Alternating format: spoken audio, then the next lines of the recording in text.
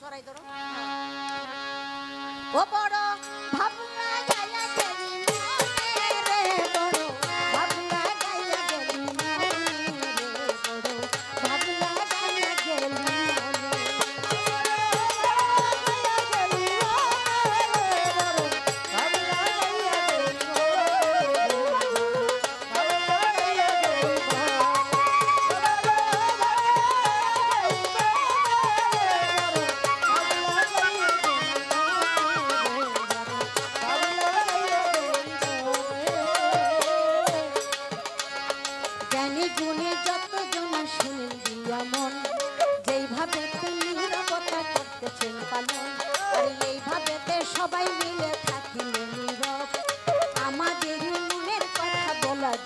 সব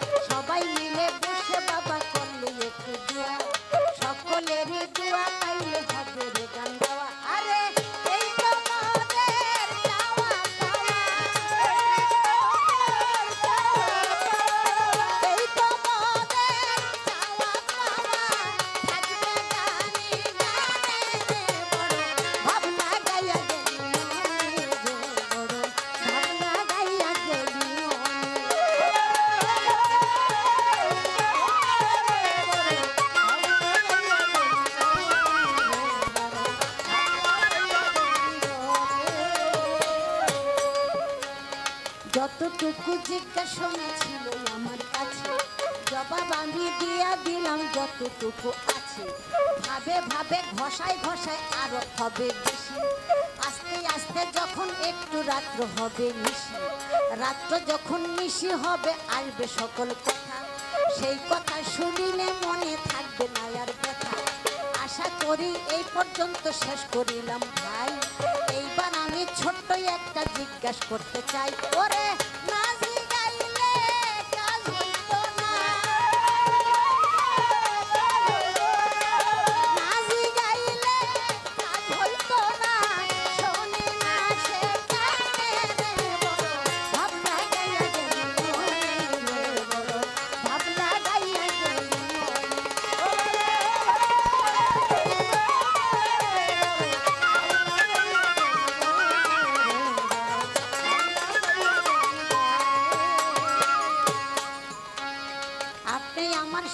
হইলেন আপনার কাছে বলি। এই কথাটা শুই না নিবেন যত ভাই সকল। আপনি যখন শিষ্য হইছেন এই না দুনিয়া। কেনই আপনি শিষ্য হইলেন বলিবেন আমার? আমাকে আপনি গুরু মানলেন কেন?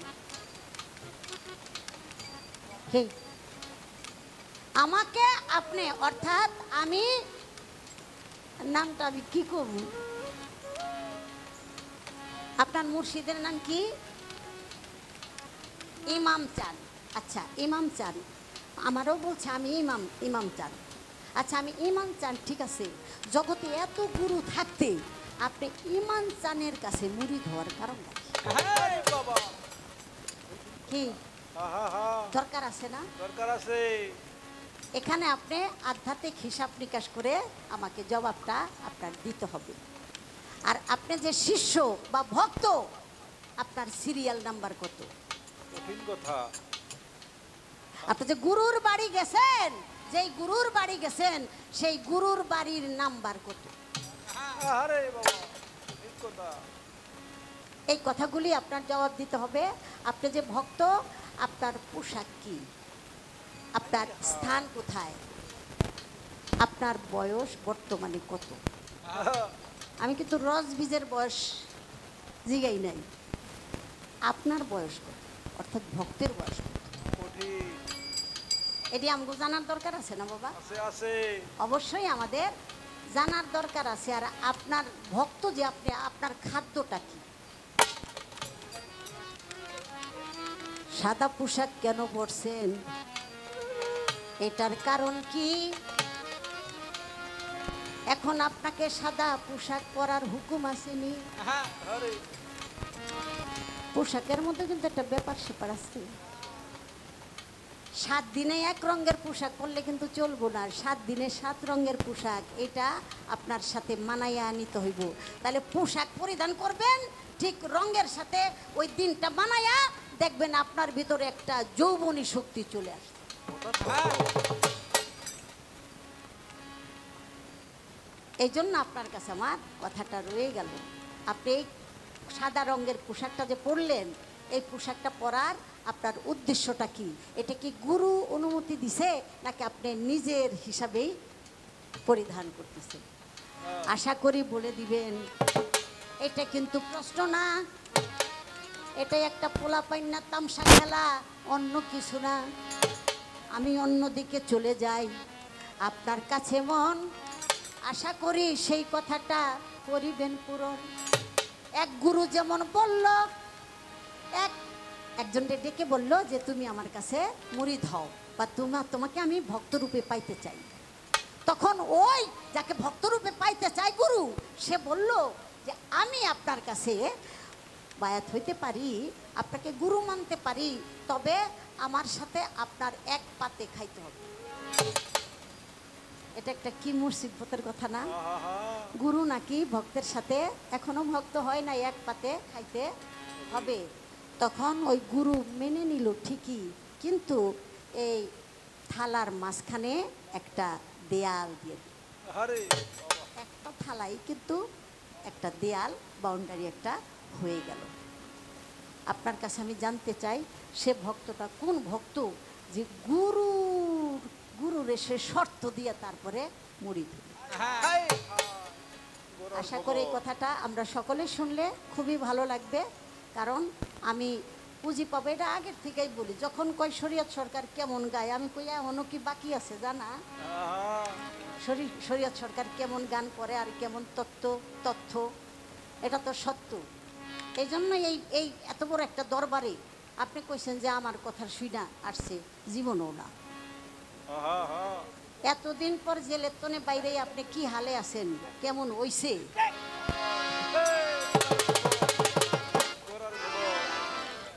আমি এই দেশে গান করি কি আজকাকালকার থেকে? আরে বাবা। মানিকগঞ্জের থেকে আইটা আইতাম ওই সমীর উদ্দিন মুন্সির দরবারে। মানিকগঞ্জের থেকে আইটা আসতাম কোনো ব্যবস্থাই ছিল না। হাঁটা ছাড়া। তখন একদম পিচ্ছি একটা ফরক আর একটা হাফ প্যান্ট পরি আমি। আর এই যে কালুসা বাবার দরবারে এন তো পরেই থাকতাম। ওই যে আমগো ঠান্ডু ঠান্ডু কাকা তারপর আমার ডাল্লু ভাই তাগোর সাথে তো এক সম্পর্ক ছিল। এখানে তো আমি পরেই থাকতাম গান টান করতাম। তো হাইটা হাইটা আসতাম। তো এই জন্য আমি কি জানি আর না জানি মানিগঞ্জের মাসে এগুলি ছোটস্থ মুখস্থ কণ্ঠস্থ। আমারে দেখার জন্য আসে না আসলে আমিও আপনারই দেখতে আসছি। তাই না? হ্যাঁ, যেদিন থেকে মুরগিতে ডিম পাড়া শুরু করে সেদিন থেকে কিন্তু ডিমের উপর একটা মহব্বত হয়ে যায়। তাই হয় না? সেদিন থেকেই মহব্বত হয়ে যায়। দৌড়াইয়া দৌড়াইয়া ডিমের কাছে আসি। গুরু কিন্তু মুরগির মতোই হয়ে যায় গা। যেদিন থেকে তার ভক্ত শুরু হয় সেদিন থেকে ওই ভক্তের দিকেই সে ছায়া থাকে নজর। যখন বাচ্চা ফুটে তখন একটু বৃষ্টির ছিটা ফোটা পড়লে পাকনাটা ছড়াইয়া দেয় পাখনার নিচে বাচ্চাগুলি আসে একেবারে নিরাপদ। এই জন্য আমাদের সাদুল্লাপুর কামাল শাহ বাবা বলে ভক্তরা আসে কত ভালো লাগে অগর দিকে তাকাইলে। ওরা যখন চলে যায় মনে হয় যেন আমার কলজাটা বাইরিয়ে যায়। আমি যেন খালি হয়ে যাই বারবার খালি ফুসকি দেই দরজার এদিক ওদিক তাকাই দেখি ওরা আবার ফিরে আসে নাকি। ওরা বিদায় নাই আমি একটা গল্প করি যে ওরা নাকি এই উছিলা একটু বসে দেখি না। তাও বসে না। কিন্তু মা তোমার কাছে মনের দুঃখটা কইলাম গুরুগিরি করা তো এই মুরগির স্বভাব। এরকম না? গুরুর শুধু ভক্তের দিকে তাকায় থাকে কিন্তু ভক্তরা সেটা বুঝতেছে না। ভক্তেরা কয় বেগুন খেতে পানি দিতে হইব হ্যাঁ। গরু গরু আছে ঘাস কাটতে হইব আবার চোর ডাকাইতে হয়ে গেছে গাড়িরে পাহারা দিতে হইব। কিন্তু গুরু ধইরা এখনও গরুর চিন্তা করলে সে গুরুর ভজনটা করবে কখন। আপনি একটা গান করছেন না? একটা কান্ডারি কান্ডারি কান্ডারি করে ডাক দিছেন এই জন্য আমার পাশাপাশি একটা গানের দরকার। আপনি যেমন বিচ্ছেদের ভাবে যেভাবে আবেগী কথা বলতেছেন সেটা সকলের মনে একটা তীরের মতো লাগতেছে। কিন্তু আমার তো আপনাকে বুঝাইতে হবে সেভাবে একটু বোঝাবার চেষ্টা করতেছি।